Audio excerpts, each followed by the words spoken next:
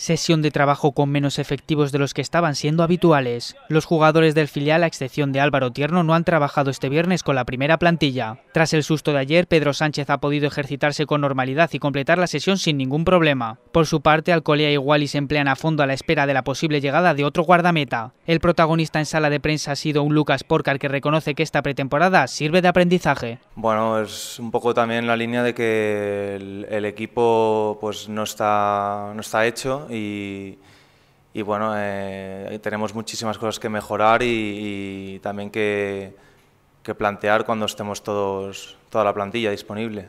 Uno de los que estará disponible es el propio Lucas Porcar. Aunque nadie ha hablado con él sobre su continuidad, su idea es respetar el año que resta de contrato.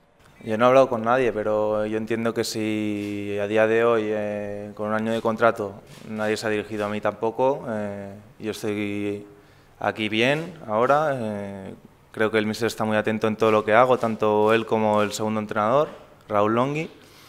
Y, mi, idea y lo que entiendo yo es que, aquí estoy y aquí me, quedaré. Los blanquillos volverán a ejercitarse el sábado a las 9 de la mañana para después disputar el cuarto partido de la pretemporada en Almudebar.